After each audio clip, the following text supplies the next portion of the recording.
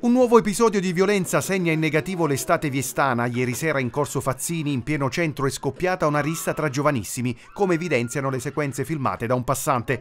Sono volati calci e pugni tra le urla di chi chiedeva insistentemente di smetterla, utilizzati anche tavoli e sedie per colpire con violenza uno dei tanti giovani coinvolti nella lite.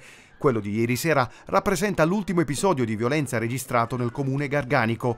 Nei primi giorni di agosto, infatti, un ragazzino è stato vittima di bullismo da parte del branco che lo ha spintonato e schiaffeggiato. Anche in quella circostanza l'accaduto fu ripreso dagli smartphone. Ancor prima, a giugno, due minorenni erano stati accerchiati e malmenati da un gruppo di adolescenti, mentre in una rissa scoppiata a maggio tra ragazzini erano stati due i carabinieri ad avere la peggio e per due giovani era scattato il Daspo Will. Willy. Intanto sull'episodio di ieri in Corso Fazzini è intervenuto anche il primo cittadino di Vieste, Giuseppe Nobiletti. Questi atti violenti non sono soltanto inaccettabili, ma minacciano anche la tranquillità a Vieste. È fondamentale che la comunità si unisca per condannare tali comportamenti. Chiediamo con urgenza il potenziamento delle misure di sicurezza da parte delle forze dell'ordine, ha concluso Nobiletti.